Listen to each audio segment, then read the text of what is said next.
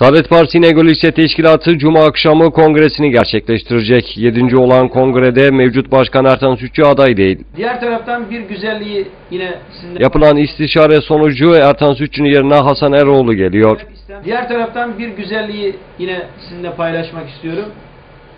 Ee, bizde görev istenmez, görev verilir anlayışı hakimdir. Bu noktada istişarelerimizi yaptık, temayül yoklamalarımızı yaptık. Bunları usulen yapmadık. Gerçekten de böyle inandığımız için yaptık. Ve tüm bu istişareler neticesinde e, ilçe başka başkan adayımız olarak tek listeyle inşallah e, kongreye e, katılmış olacağız.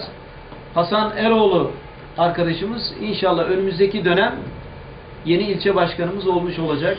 Ben e, kendisine başarılar diliyorum. Saadet Partisi İnegöl İlçe Başkanı Ertan Sütçü son kez basın mensuplarıyla bir araya geldi. Yapılan basın toplantısında yaptıkları çalışmalar ve İnegöl'ün sorunlarıyla ilgili bilgiler verildi. Bugün birçok seçmenimiz, birçok halkımız bana şunu soruyor mesleğim icabı da.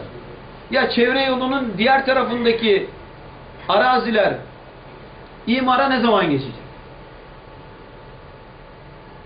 Herkes bir ayrı bir beklenti içerisinde.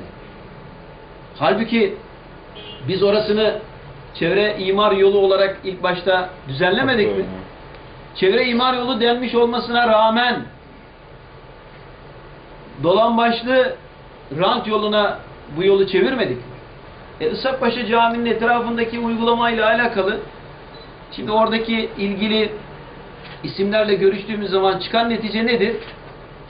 E, şimdi orada imamlık yapan arkadaşımızla görüşüyoruz. Diyor ki bizim bizim görüşümüz alınmadı. Esnafla görüşüyoruz. Bizim görüşümüz alınmadı. E siz kimin görüşünü aldınız da neye göre bir adım atıyorsunuz? Yani oranın dokusuyla alakalı hangi mimarın, hangi mühendisin görüşlerini aldınız? Ne yaptınız ve niye paylaşmıyorsunuz bütün bunları? Ve neden lüzumsuz bir takım hareketler içerisine giriyorsunuz? Tekrar e, yap boza gir, girmiş oluyorsunuz. Ve bu e, bizi her geçen gün çıkmaz bir sokak haline getiriyor. Daha sonra yeni başkan adayı Hasan Eroğlu da bir konuşma yaptı. ilçe başkanlığı görevini e, geçtiğimiz ay ilçe yönetimi bize tevdi etti. Elbette bu şerefli görevi almaktan e, öncelikle mutluluk duyuyoruz. Ancak bununla beraber yükümüzün ağır olduğunun, olduğunun da farkındayız.